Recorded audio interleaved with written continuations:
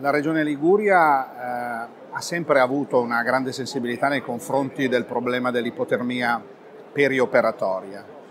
Il grande passo in avanti è stato questo, cioè la Regione, tramite la Centrale Regionale Acquisti, ha licenziato veramente in tempi molto rapidi, eh, poco tempo fa, una, una gara che permette quindi l'acquisizione da parte delle aziende sanitarie, degli ospedali, di tutti gli strumenti, i device, sia per il riscaldamento dei liquidi intraoperatori, sia per quanto riguarda il riscaldamento del paziente in tutte le sue forme. E questo rappresenta eh, sicuramente un elemento base da cui partire per poter quindi a, aggiungere sensibilità eh, nei confronti degli anestesisti e rianimatori. Dicevo, la Regione Liguria